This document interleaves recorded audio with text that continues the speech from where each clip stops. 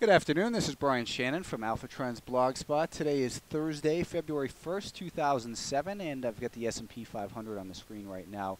We're looking at a 10-minute chart of the spiders, and the market, the S&P that is, was up once again, adding to yesterday's gains as the early short sellers are finding that it doesn't pay to uh, sell short a market that they think is up too much or a market that uh, looks a little bit extended.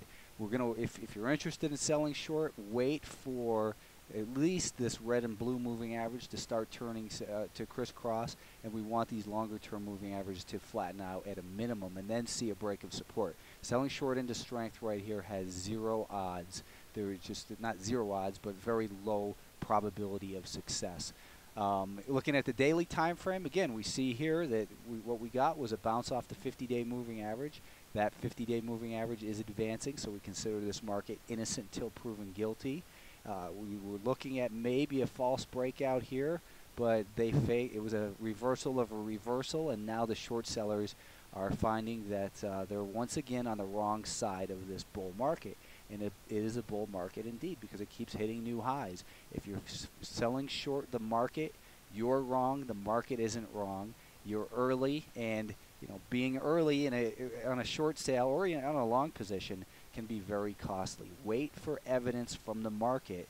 Wait for the market to tell you that the path of least resistance is lower before trying to pick a top. I've said it over and over again that picking tops and bottoms is the hardest job on Wall Street. I have never met anyone who can do it with any success, uh, with any consistency at least.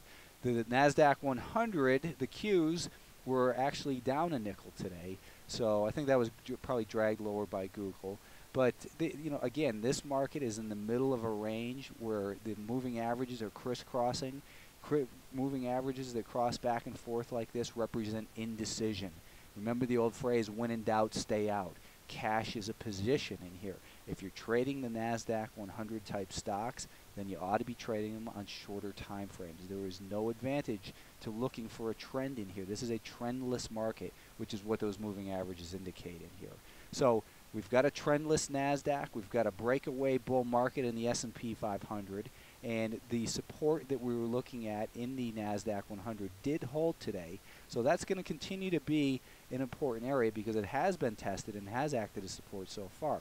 This picture is looking a little bit more bullish though because we have all these moving averages heading higher and again that five-day moving average is advancing. So on a short-term time frame I think we give the benefit of the doubt to the buyers and look for a move up towards about 44.50 but it comes within the context of an overall neutral market. So be quick to grab your profits uh, instead of waiting for those objectives to be obtained. If you sit, uh, in other words, if you if you get long and it, this market starts to move in your favor, be quicker to take the profits than waiting for the target to be obtained if the market starts showing any signs of weakness. Looking at a five minute time frame, we can see a little bit more clarity here where that support came in today was almost precisely at these prior high levels. So once again, the old phrase of resistance once broken tends to act as support and here we see it. So this 43.90 level is going to be important going forward.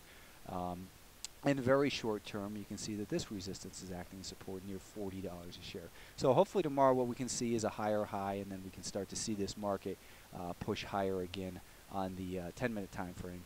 But again, it comes within the context of an overall neutral market. The mid caps continue to show uh, why they are the market leaders here with all the momentum. And this this group, again, what we've been looking for is a price target. It, again, if we take the recent range, which is basically 145 uh, and a half up to 150 and a half, or about five points.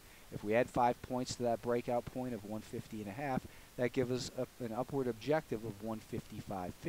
So that's what our uh, official upside objective is going to be. It doesn't mean that you should have bought the breakout and put your sell order in at 155.50 and then go on vacation because what we want to do is that's our objective but it doesn't mean the market's going to comply. What we want to look at is the pattern of higher highs and higher lows on a shorter term time frame and manage that position by saying I'm going to keep raising my stop up above these higher lows because on the short term trend again the definition of an uptrend is obviously higher highs and higher lows so if it breaks and makes a lower low well, the definition of that uptrend no longer exists, so why would you want to still be long the big caps? But for now, the breakout continues to add to these all-time highs in the mid caps and trying to fade this strength or sell short, you're fighting big institutional investors with billions of dollars. So just don't do it.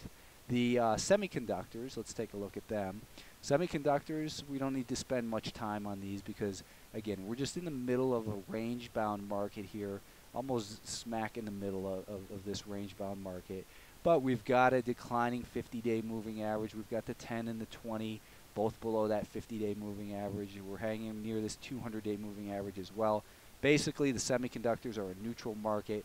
There's really no advantage to trading them in here. So enough said about them. Let's take a look at the stocks we've been involved in. We got long uh, Sonic Solution yesterday above $18.20.